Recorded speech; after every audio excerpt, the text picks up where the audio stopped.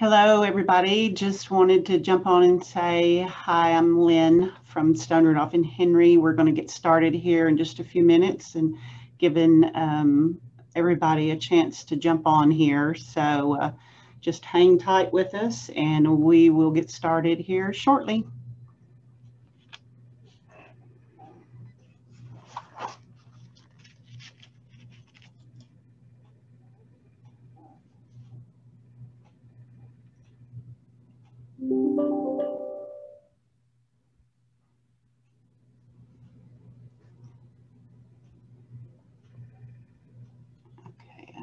Still see some people trying to get on, so we'll give them a chance to get on here. Just hang tight with us for just a few more seconds.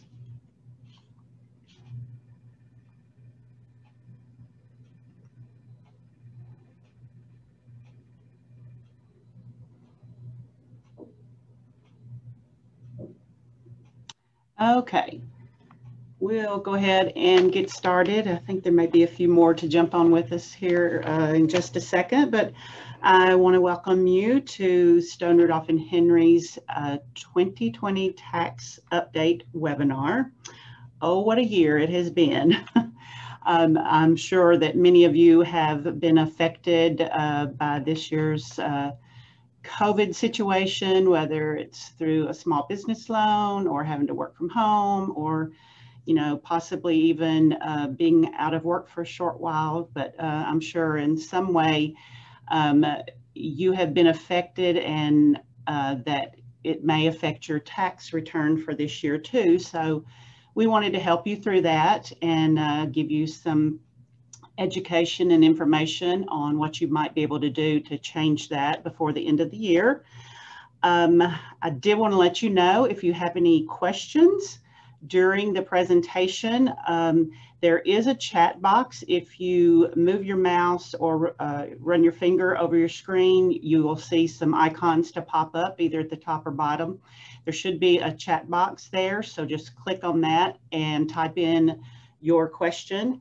And we hope that uh, we'll have enough time at the end to maybe answer a few of those. If not, then um, our speaker We'll get those answered and back to you by email as soon as he can. So with that being said, I'll go ahead and introduce our speaker to you. He's one of our own. It's Marcus Marotti. He is our tax team supervisor located in our Brentwood office. And he has been with Stone Rudolph and Henry for six and a half years. And we're very fortunate to have him with us. So uh, he's going to give you a lot of information. So hang on. Uh, Marcus, we're ready for you anytime. All right, cool. Thanks, Lynn. I appreciate it. And thanks everyone for joining us today. Um, so what we're going to look at first are some of the items that are, excuse me, normally indexed for inflation every year. Um, then we'll go and move forward into some individual changes, um, some changes that impact business returns, uh, and then we'll kind of close out looking at some of the proposed changes uh, going forward. So uh, without further ado, um, we'll go ahead and look at the income tax rates for single returns first.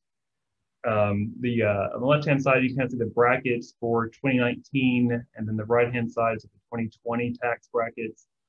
Uh, as you can kind of tell glancing through them, the brackets themselves are remaining unchanged. So you still have the 10%, 12%, all the way up to the maximum rate of 37% uh, for 2020. So the only thing that really has changed for 2020 is the dollar amounts for the brackets themselves. Uh, they are indexed for inflation every year, so you're going to stay in a lower bracket slightly longer uh, in 2020 than you would in 2019. Uh, but no, you know, huge tax savings here. It's just a um, you know small change for uh, to keep pace with inflation. Uh, moving on to the married filing joint rates, uh, kind of more the same. Uh, rates themselves have not changed. Um, you're looking at a slightly wider tax bracket than you would have had in 2019. And for example, 10% is going to go all the way up to 19,750 versus 19,400 in 2019. Uh, and finally, the head of household rates. So these are um, individuals who uh, generally are single parents. Uh, if you have a taxpayer that has a qualifying child that lives with them, during the year they can qualify for this favorable tax status.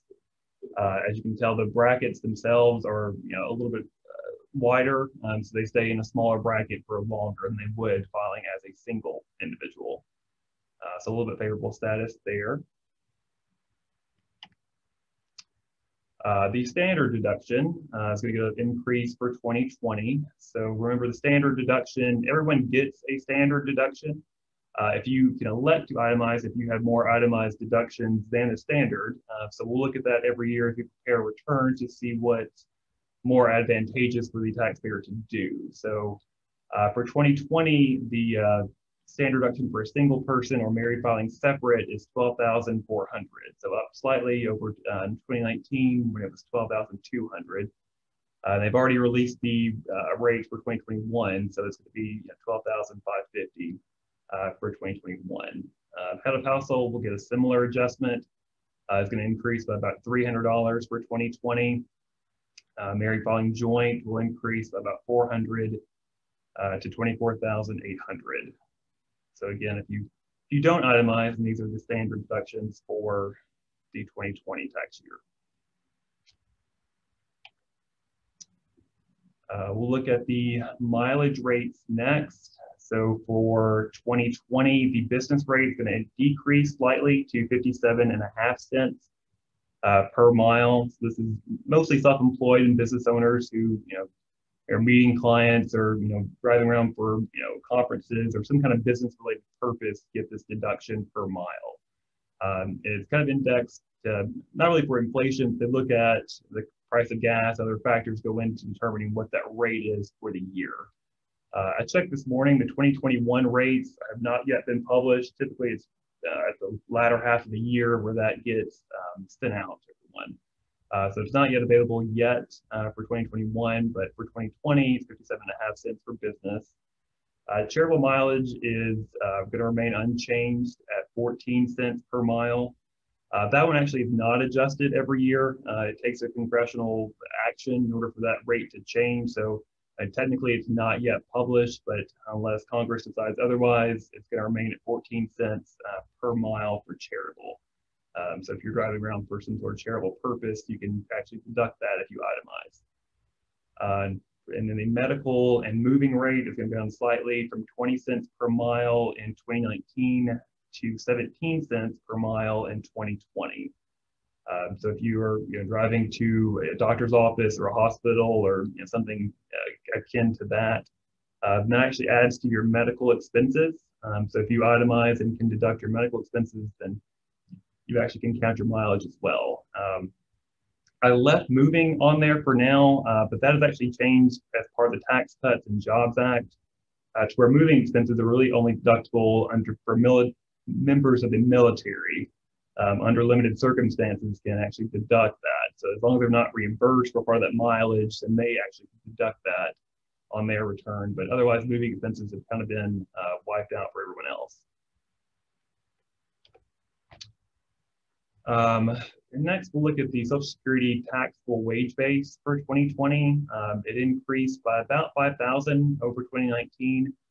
Uh, so that Social Security wage base is the amount that self-employed individuals and employees pay in Social Security tax. So they'll pay that six and a half percent or 12.4 percent if they're self-employed um, on that income up to 137,700 for 2020. That anything over that amount is not subject to, to Social Security tax, uh, but Medicare tax, you know, is uh, indefinite. There's no limit for Medicare tax. Uh, but that is by far the smaller one. You know, employees pay 1.45% in Medicare uh, and 2.9% for self-employed individuals. Uh, the 2021 rate is actually there as well. It'll go out another $5,000 in 2021.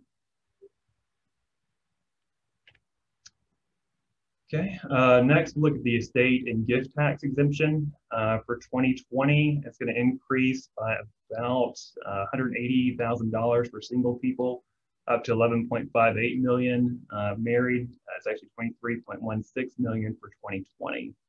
Uh, so one of my goals in my lifetime is to be subject to the estate tax. Um, not quite there yet, but I would love to get there. I hope all you guys are. Um, but that, that what that means is essentially if you are a single person and you pass away in 2020, uh, then the first $11.58 million of your estate would not be subject to estate tax. Um, then for 2020 and for 2021, the annual gift tax exclusion uh, is going to remain at $15,000. So you can gift up to $15,000 per person per year uh, without needing to file a gift tax return. Uh, and then if you're married, you and your spouse can each do 15,000. So in effect, it's a $30,000 limit per person per year uh, for a married couple. And then of course you could always do more than that limit um, if you wanted to during the year to a, uh, to a person, you just need to file a gift tax return. Um, and there's really no tax consequences uh, usually. Uh, it just reduces your gift tax or your annual or your lifetime estate exclusion. Uh, so reduce your $11.58 million uh, estate exemption uh, for doing a gift of more than $15,000 to one person during the year. Okay. Uh, next, look at the IRA contribution. Uh, these are going to remain unchanged uh, for 2020. So you're uh, eligible to contribute up to $6,000 into an IRA during the year. Uh, a catch-up contribution is available if you are age 50 or older during the year. You can actually do $7,000 for the year. And then IRAs, you actually have until April 15th of the following year to fund your IRA for that tax year. So for example, in 2020, uh, you could you would have until April 15th of 2021 to fund your IRA uh, for 2020. Okay, uh, next we'll look at 401k and 403b deferrals. So the employee deferral, deferral will go up about $500 from uh, 2019 uh, to where the employee can defer up to 19,500. Uh, if, again, if they're over age 50 or age 50 or higher, um, they can do the catch-up contribution and do an extra 6,500 uh, for 2020. So up slightly over 2019's amount. Uh, simple IRAs, um, again, have increased slightly for 2020. Uh, the employee can now defer up to 13,500. Uh, it's going to remain unchanged for 2021. Uh, the catch-up contribution remains unchanged from 19, so it's $3,000 uh, catch-up for employees age 50 or older during the year. Uh, SEP IRAs uh, increased slightly from 2019. Uh, so for 2020, they can contribute up to $57,000 uh, into a SEP during the year. Uh, there's no catch-up contribution for a SEP plan. The SEPs are entirely funded by the employer. Uh, so there's no employee deferral uh, as part of SEP.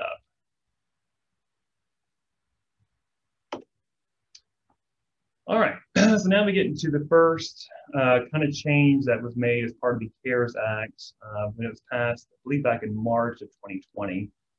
Um, they one of the provisions of the CARES Act allowed for a favorable tax treatment on up to $100,000 of what they call coronavirus related distributions from a retirement plan.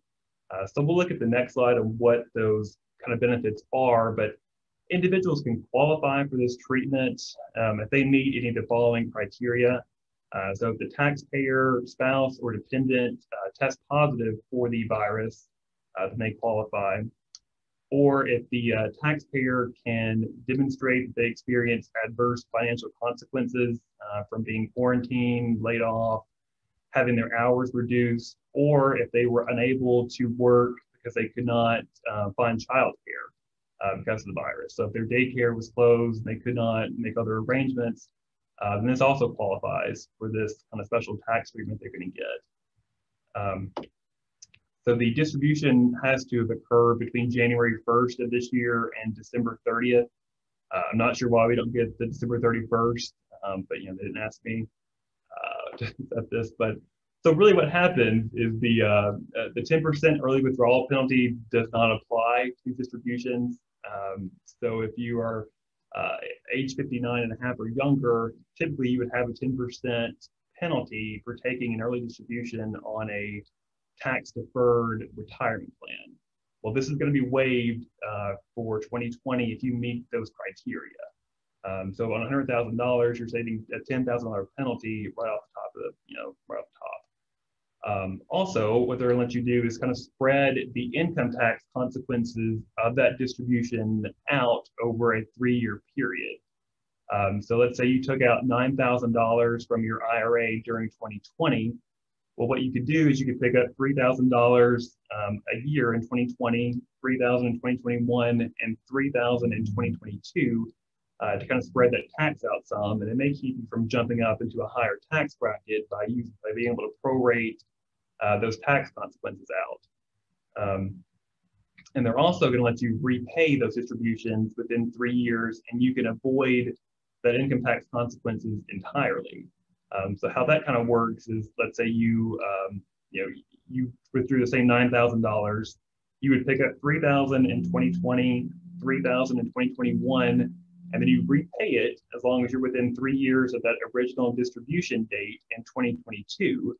Uh, well, you could go back and you would amend your return for 2020 and 2021, and then you could get a refund for the income tax that you paid um, on this on the distribution in those two years. Um, so kind of you know very if you need some you know cash on hand or you know liquid assets, and you could kind of pull from this as long as you meet those criteria. If you were affected by COVID in those ways and need some additional income to kind of carry you through, then this um, you know may be a good opportunity for you.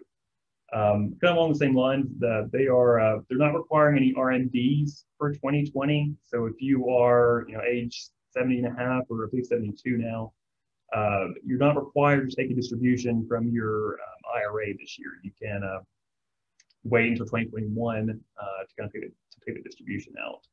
Uh, some other change that's not on the slide that came about as part of the CARES Act. Um, charitable contributions, there was a change uh, with this as well uh, for 2020. So in 2019, uh, there's a 60% of your adjusted gross income limitation for charitable contributions. So basically what that means is you can deduct up to 60% of your income during the year as a charitable contribution. Uh, and then any excess would just roll forward to a future tax year. Well, for 2020, they're going to waive that um, limitation for this year. So there are some limits to that. I believe it's got to be cash only and donor advised funds would not count. But theoretically, uh, you could donate 100% of your tax income to a charitable contribution to a charity this year, a 501c3, uh, and wipe out your tax entirely. Um, and in addition, they have a new, what we call above the line deduction this year for charitable contributions.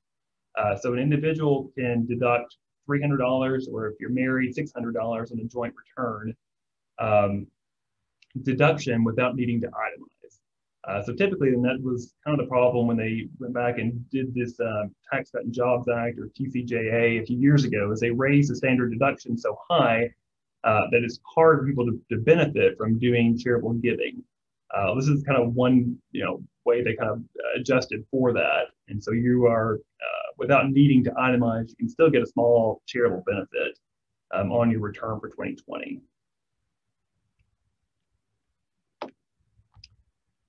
Okay, so also part of the CARES Act uh, passed back in March, there was a technical correction uh, for bonus depreciation or Section 168A. Uh, back, uh, in, in 2017, when they passed the Tax Cut and Jobs Act, they carved out um, this term for qualified improvement property. And uh, basically, what that is is an improvement to an interior portion of a commercial building um, that is not considered to be an enlargement of that building or part of the internal structural framework of the building um, would count. So typically you see these with tenant improvements to where the, um, you know, the owner of that building is going to agree to you know, make some kind of improvements for the tenant um, uh, as part of the lease. Uh, so a lot of those types of improvements would count as qualified improvement property. Well, the issue um, with the Tax Cut and Jobs Act is that it was written in such a way that they carved out this special um, definition of improvement property, uh, but on the final version of that bill, it was not, um, uh, it was actually considered 39 year property, and then it was not eligible for bonus depreciation. So it was completely against what um, Congress intended to do Uh, but they finally did a technical correction and fixed that as part of the CARES Act. Um, so that provision is retroactive. Um, so it goes back to 2018 and 2019.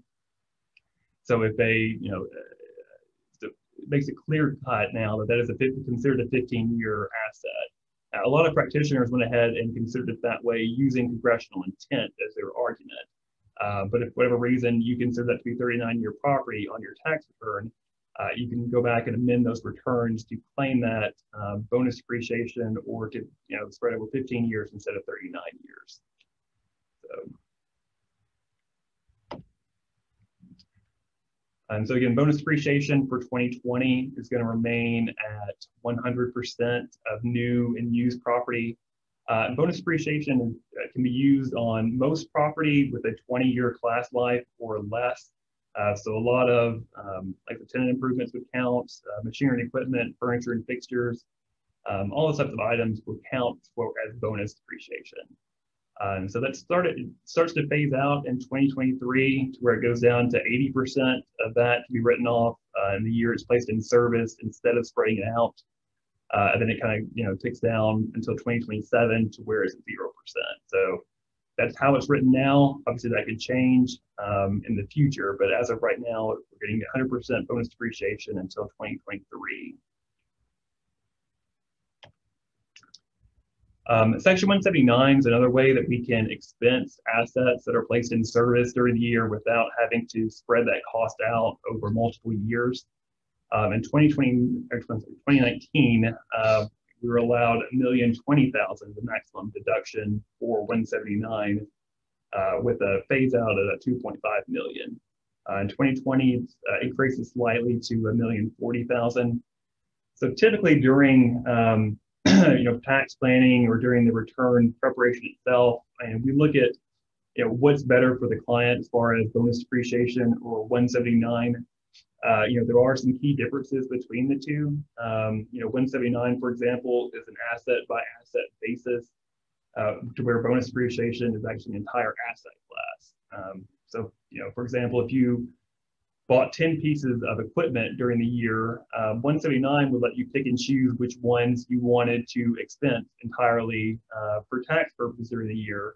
Whereas bonus depreciation, you would have to take all or nothing. Um, you know, 179, you can't uh, expense to create a loss, whereas you can with bonus.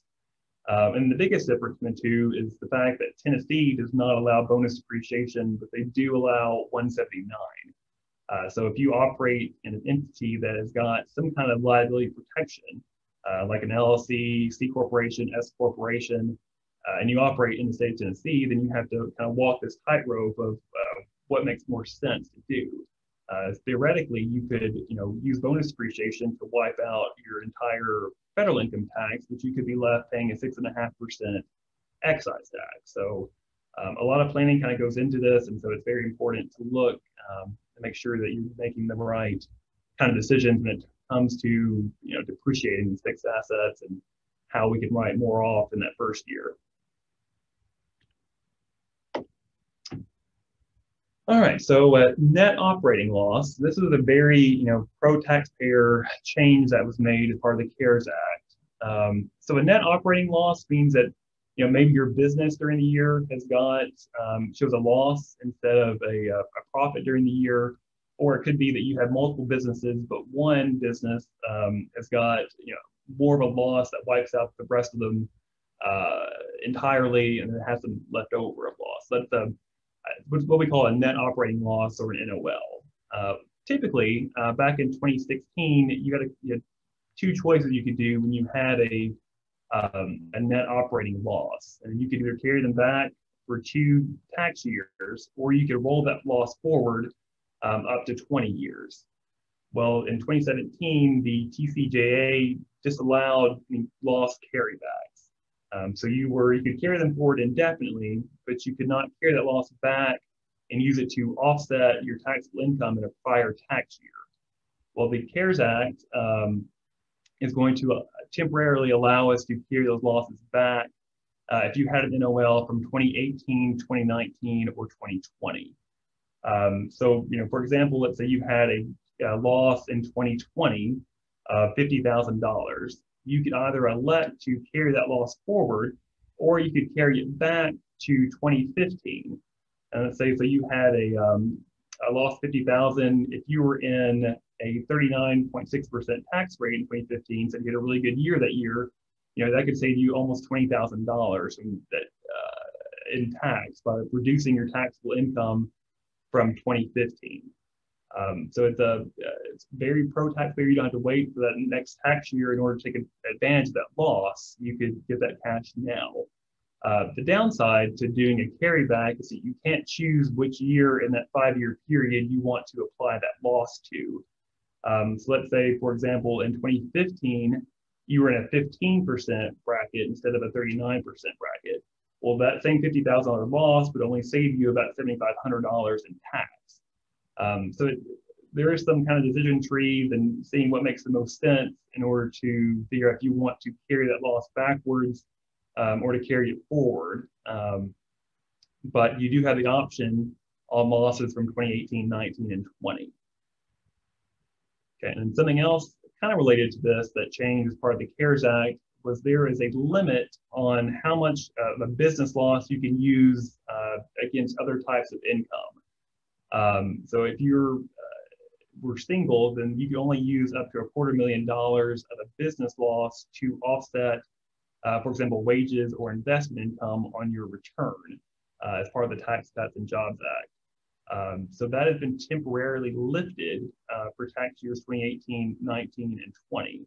So if you had you know a, a loss, a large loss on a partnership, for example, and you had a million dollar W-2, when that return was originally filed, we could only use a quarter million dollars of that loss against your W-2 wages.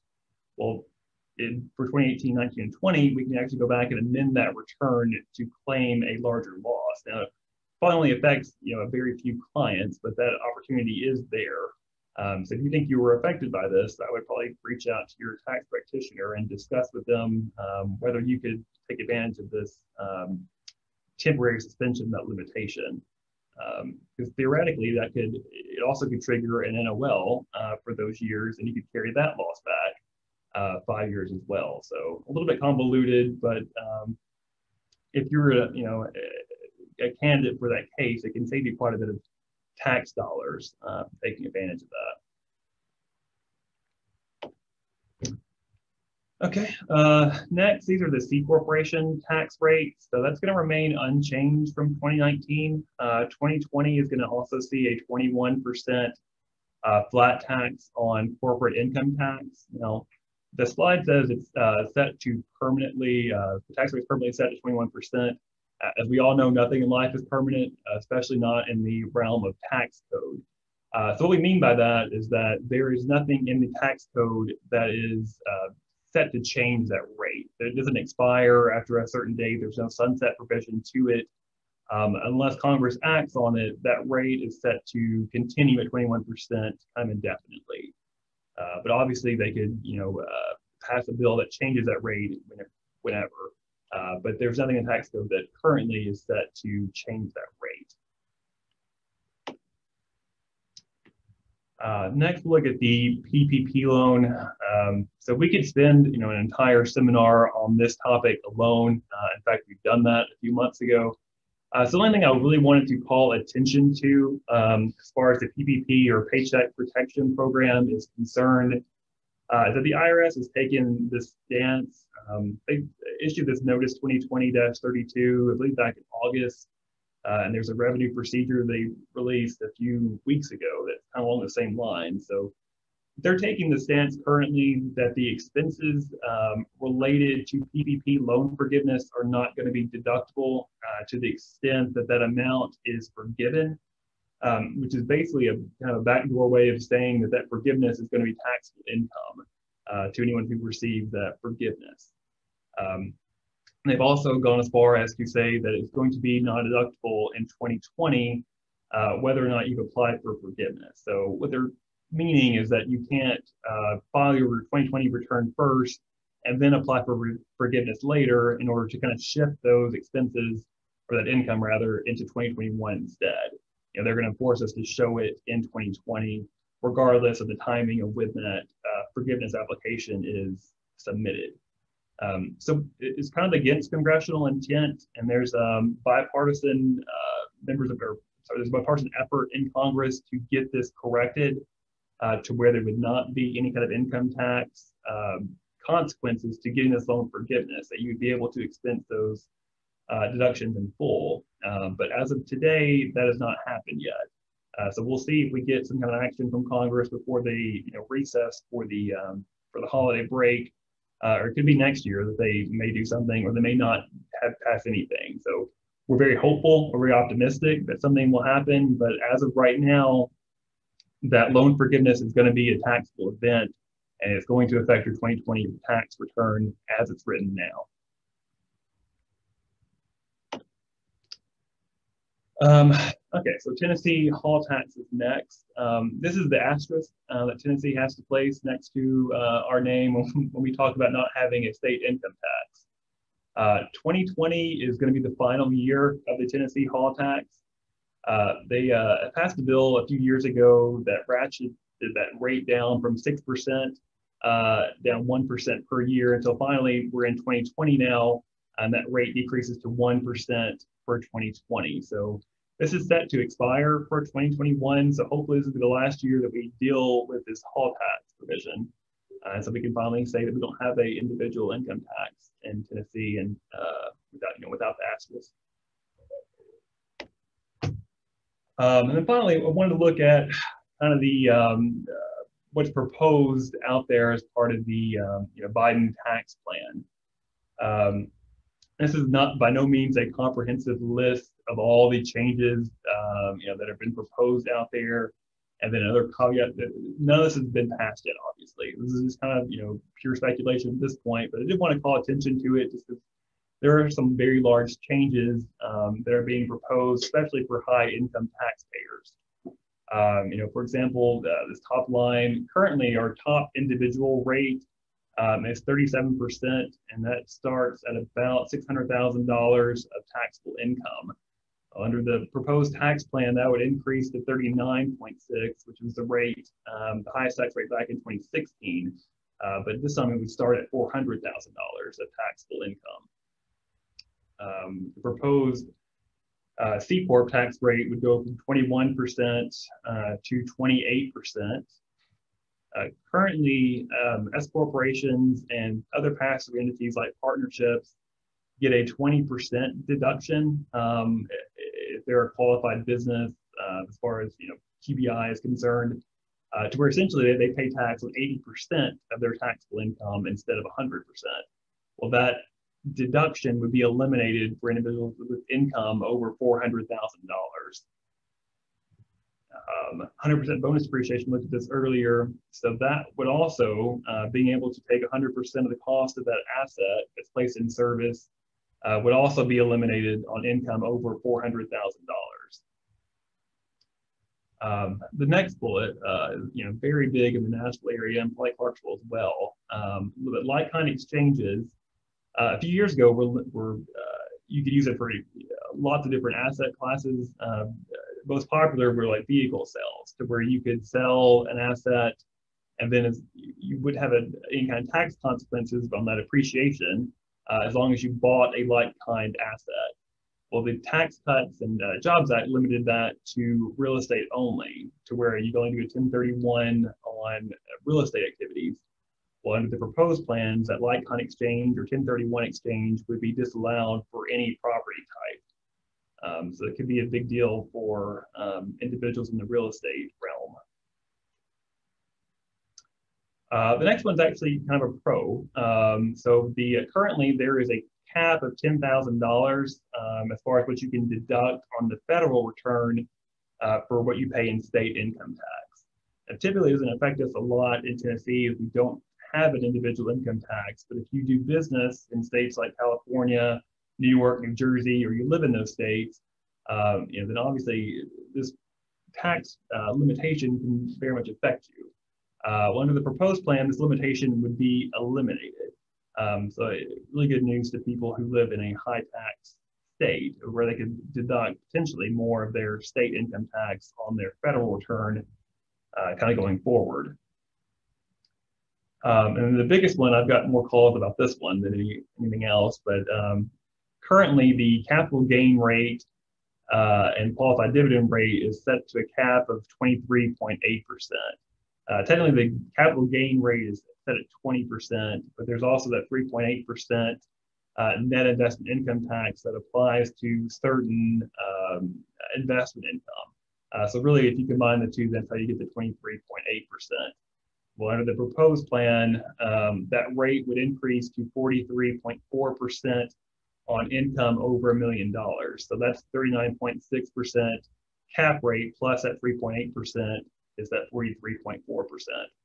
Um, so that's a huge change um, on the um, on long-term capital gain.